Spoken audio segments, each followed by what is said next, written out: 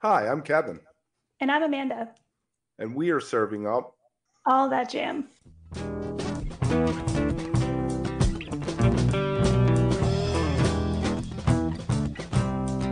All that jam. Quick hit. New Orleans suspects Jake Eckert on playing with Colonel Bruce Hampton and Little Feat.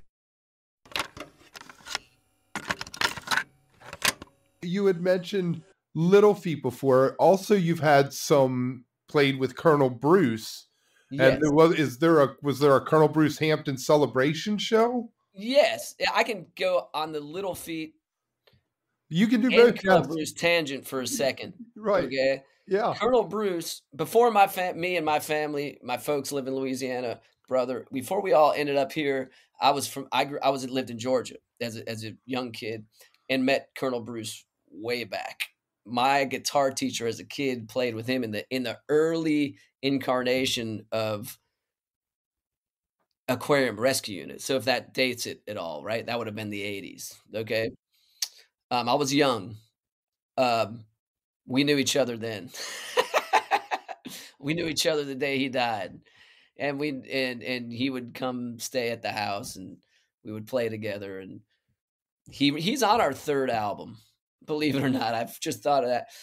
There's some weird connections, man. If you want to talk about all that, Colonel Bruce is a you know as I look back on Colonel Bruce, a lot of the things when we were hanging out and he was sitting in my kitchen or sleeping in my son's room when he was in town to play a gig or whatever and he would do his thing and, if anybody's listening to this that doesn't know colonel bruce and he's bruce is he's a i call him the grandfather of this scene you know he's he's a clairvoyant and a and a metaphysical genius rest your soul bruce i could get struck by lightning right now i'm just letting you know um so Bruce,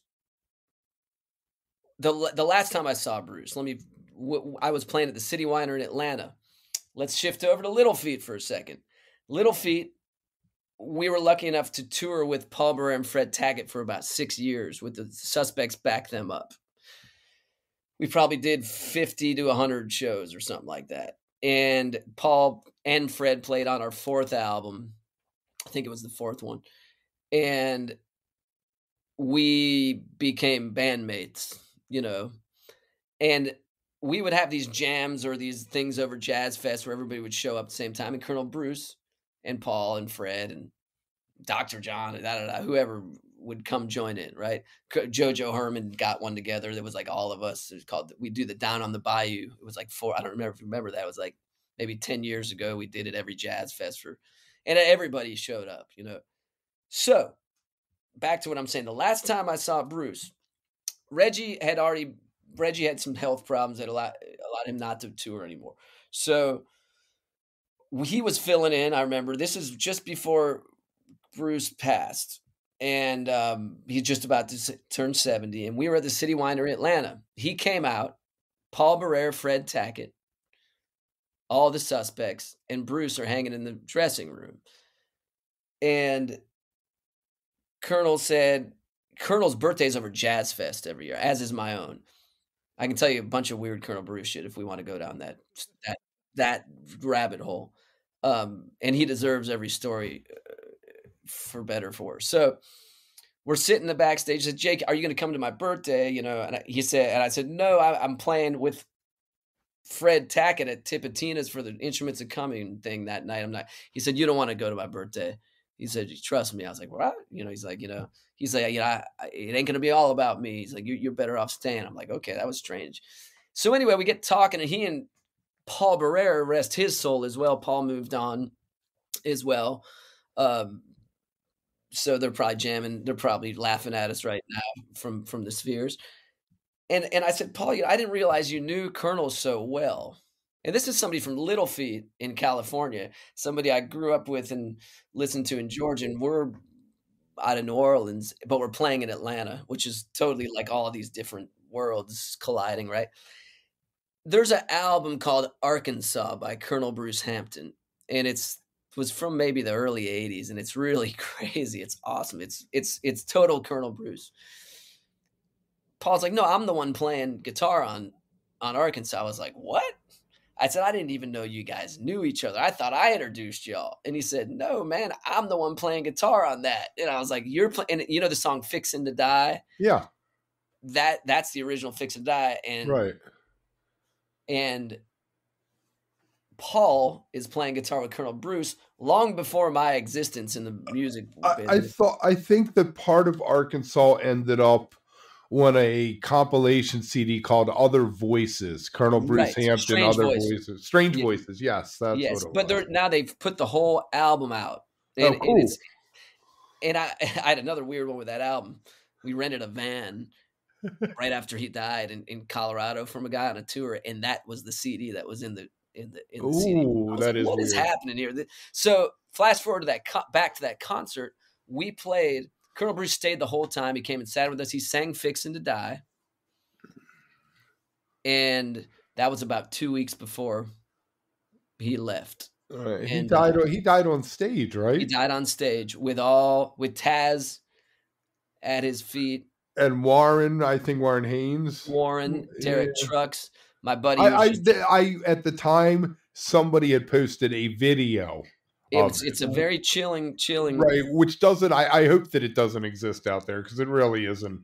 It, but, it's yeah. it's not. And my my I was actually sitting right here with Vince Herman last week from Leftover, who's an old friend just from being in this circus with me for a while, and um, he came to visit a few weeks back, and he was on stage. He was talking about it, and Drew, his partner, was on stage, and Derek and Susan were on stage, and you name it, they were on stage. And I believe to this day that um, Colonel put it where he he did it where when he was ready. Oh, to he do did. It, it, it was weird. I was going to say it was weird to watch because everyone kept playing. They weren't quite sure whether this was part of the show was or not. He was. It was. It was. It was. He was messing around at first, Right. Right. and I believe it was Derek or Susan or somebody was like, "Nah."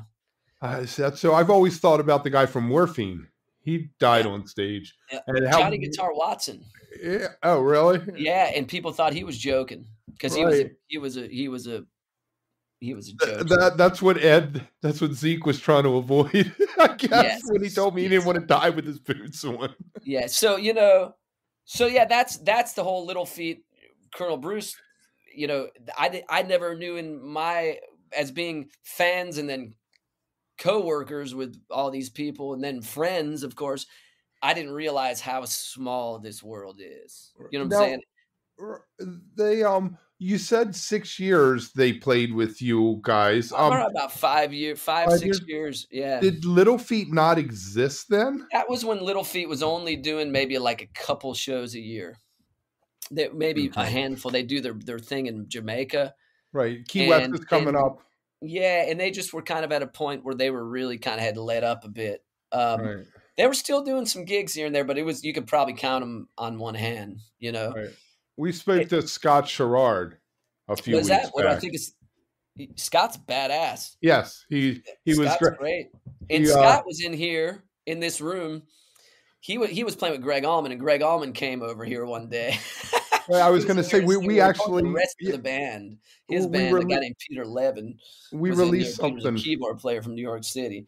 Right, we and he- released he, was there working for Gregg Allman. The rest of the band came in to record while he was playing at Gretna Fest with Gregg Allman, Okay. and Gregg decided to come over and spend the day with us. The session totally stopped because apparently Gregg didn't come hang out much, and we ate po' boys and talked about Garth Hudson, and you know That's great. he had a good manicure and was well cologned, man.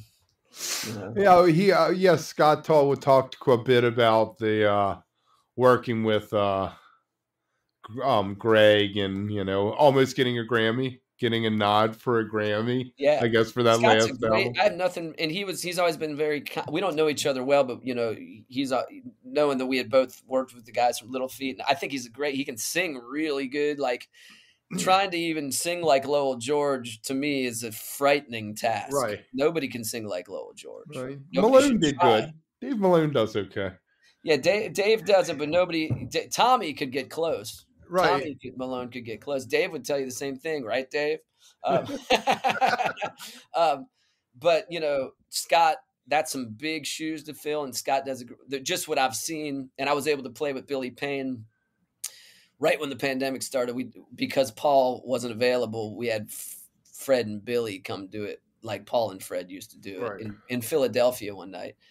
And uh, let me tell you, Scott does a great job. I watched some of the footage, and they're playing songs that they used to not play either. You know, like uh, that they kind of left alone. I think for whatever reason. Paul, Right, well, so little- Scott, props to Scott. Little Feat went through the whole thing with uh where they had the female singer, and it, Shaun. really changed, yeah, the dimension of the Shaun band there yeah. for a few years. All right, she you know did what- come play with us some too, believe it or not.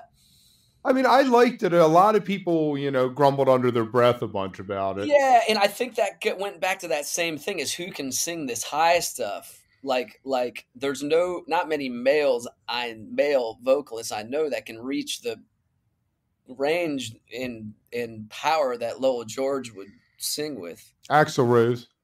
Axl Rose, yeah, without being cheesy, right? Right. Without sounding like Robert Plant or something.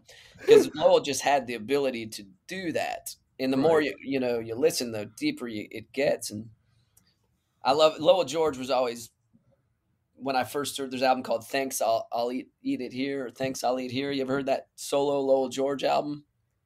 Mm. It's amazing. To today. Oh back- yeah, yeah, with with the pic with Dylan playing cards or chess or Yes, something on the yes, front. and Yeah, it's a wonderful album. It's a wonderful album, and it just shows how dynamic he was. And the guy was only in his thirties when he passed, which is, and to me, you know, not to take anything away from anybody in Little Feat, but it's still a celebration of Lowell George, just as the Grateful Dead is a celebration of Jerry Garcia's songwriting and musicality. yes, you know. definitely. And the rest Sure. of them are a bunch of badasses in their own right. You know, don't get me wrong. If you are enjoying All That Jam, please like and subscribe to our social media channels at All That Jam Pod on Twitter, Instagram, and Facebook, or visit our website, allthatjampod.com. Make sure to sign up for our email list and tune in every week for new episodes. Also, look for full interviews on our YouTube channel. And remember, stay beautiful, but don't stay underground too long.